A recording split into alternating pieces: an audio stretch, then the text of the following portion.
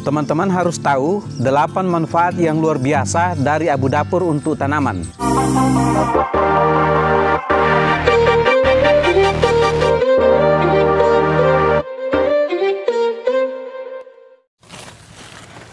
Halo teman-teman, kita jumpa lagi bersama Alam Organik. Jaga bumi dengan pertanian organik.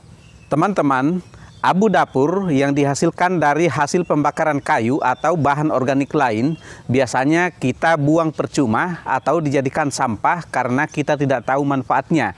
Tapi tahukah teman-teman, jika kita kelola dengan baik, abu dapur ternyata dapat dimanfaatkan untuk menyuburkan tanaman kita. Bagaimana caranya? Berikut ini akan saya sampaikan 8 manfaat abu dapur untuk tanaman dan cara menggunakannya. Tapi sebelum lanjut, bagi teman-teman yang baru bergabung, saya persilakan untuk menekan tombol subscribe yang berwarna merah pada bagian bawah video ini dan bunyikan loncengnya. Jangan lupa like, share, dan komen. Nah, teman-teman, ini adalah abu hasil pembakaran kayu di dapur rumah kami. Abu ini dihasilkan dengan cara mengambil sisa-sisa pembakaran lalu diayak dan menghasilkan abu dapur yang sudah berpenampilan halus seperti ini. Abu dapur ini siap untuk diterapkan pada tanaman kita dengan beberapa macam cara. Saya akan menginformasikan pada teman-teman ada delapan manfaat dari abu dapur yang sangat besar untuk tanaman kita. Manfaat yang pertama dari abu dapur untuk tanaman adalah dapat dijadikan sebagai pengganti kapur dolomit untuk mengatur pH atau keasaman tanah. Hal ini karena kandungan kalsium karbonat yang merupakan penyusun terbesar dari abu dapur. Manfaat yang kedua, abu dapur dapat digunakan untuk mengendalikan atau bahkan membunuh gulma yang mengganggu pertumbuhan tanaman kita.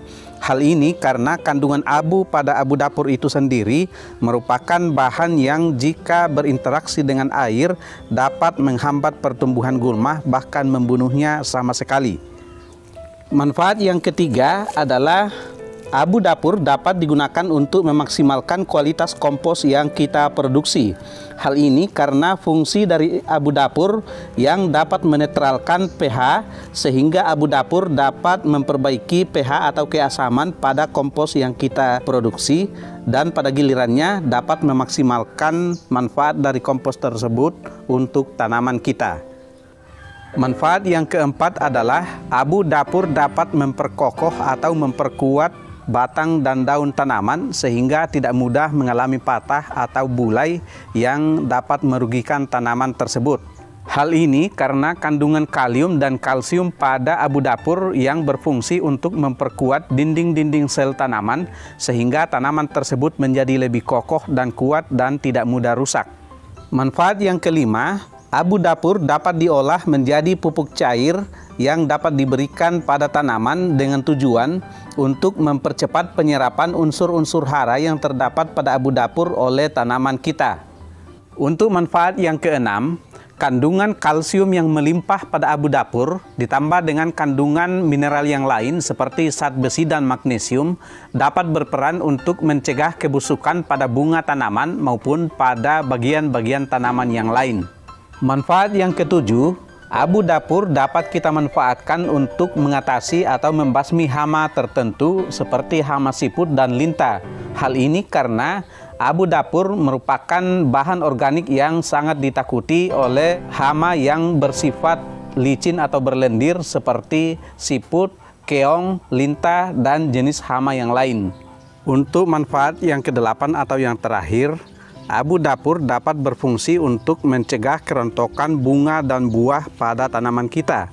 Hal ini karena kandungan kalsium dan kalium yang melimpah pada abu dapur yang berfungsi untuk memperkuat dinding sel sehingga dapat mencegah kerontokan pada bunga dan buah dari tanaman. Nah, untuk mendapatkan abu seperti ini, Pertama-tama yang kita lakukan adalah kita mengumpulkan abu sisa pembakaran di dapur rumah kita, lalu kita ayak atau kita saring untuk mendapatkan abu dapur yang halus dengan penampilan seperti ini yang sudah siap untuk kita gunakan. Untuk mengaplikasikan abu dapur pada tanaman, ada beberapa cara yang dapat kita lakukan. Cara yang pertama adalah aplikasi abu dapur langsung pada media tanam yang akan kita gunakan.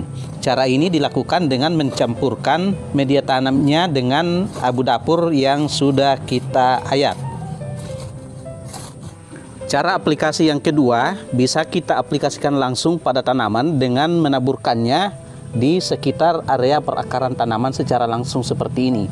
Hal ini hanya dapat diaplikasikan untuk tanaman jenis tertentu yang memang membutuhkan tanah yang keasamannya rendah. Cara aplikasi yang ketiga adalah dengan membuat pupuk organik cair dari abu dapur seperti ini.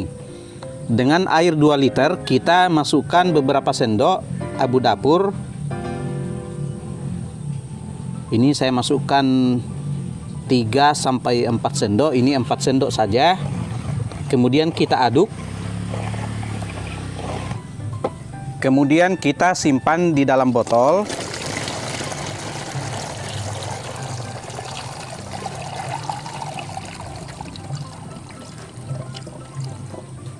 dan didiamkan selama kurang lebih dua hari dua malam Nah, dari sinilah dihasilkan pupuk cair dari abu dapur yang dapat kita terapkan pada tanaman dengan dua macam cara juga. Cara yang pertama adalah kita siramkan pada tanaman dan cara yang kedua adalah kita semprotkan pada daun tanaman. Nah, teman-teman, itulah informasi yang dapat saya bagikan kali ini tentang 8 manfaat abu dapur untuk tanaman dan cara mengaplikasikannya agar tanaman kita subur dan memberikan manfaat yang maksimal untuk kesejahteraan petani dan keluarganya. Semoga informasi ini bermanfaat untuk kita semua. Salam organik.